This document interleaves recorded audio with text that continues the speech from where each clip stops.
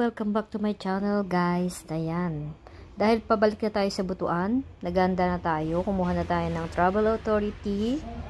Nagpa-rapid test na rin ako. So tomorrow, um, kukuha natin ng result. So next day, aalis na tayo papuntang Butuan. So guys, The next day.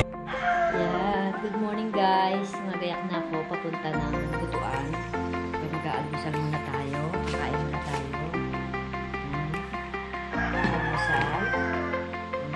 Itlog at saka maling.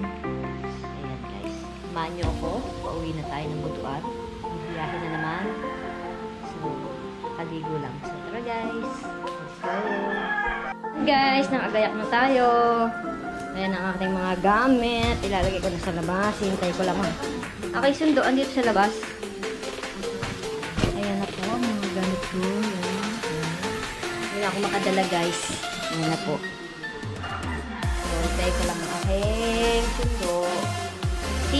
Airport.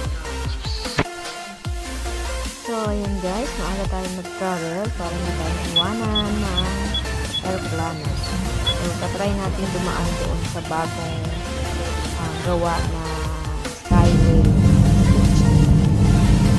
Bagong daan. So, ayan. Ito yung skyway stage 3 guys. Head on Mithi, then make a U-turn.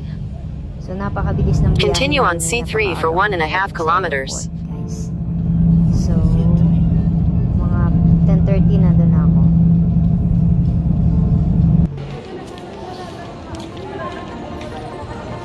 Guys. Tumating na tayo. Nagtatawag din. Nagtatawag din.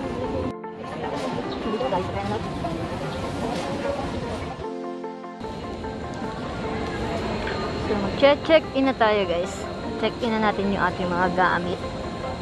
Para idadrop ko na. Ang tao sa naiya.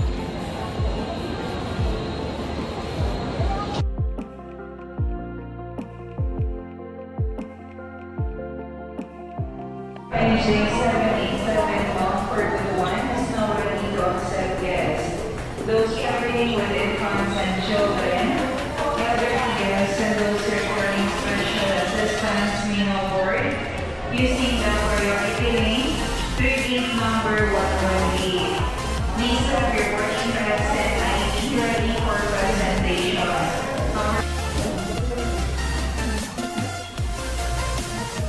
Ready na po yung and boarding pass?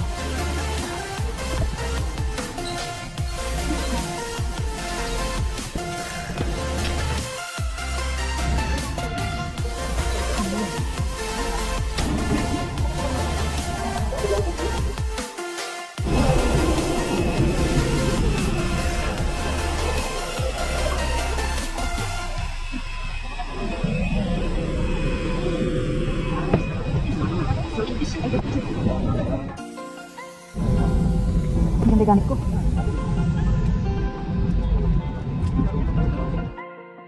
Bound of 4.1. Only guests for this flight must be on board.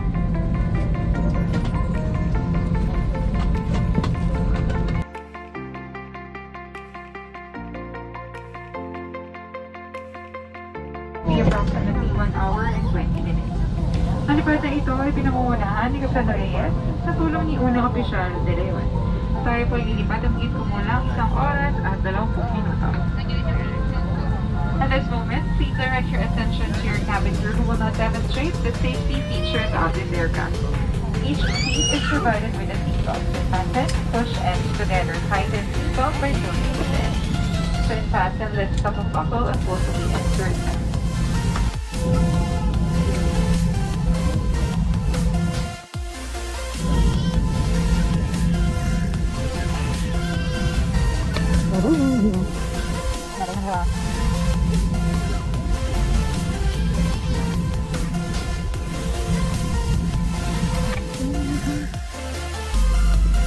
Ano po, lilipad na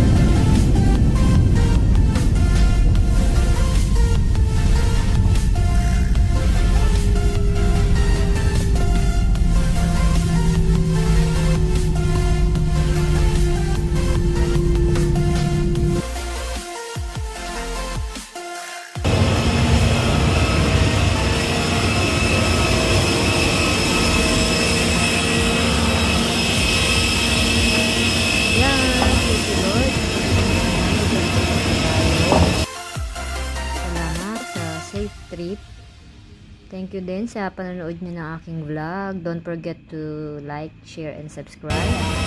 At visit nyo po ang notification bell para updated po kayo sa aking mga susunod pang vlog. Thank you and God bless you all.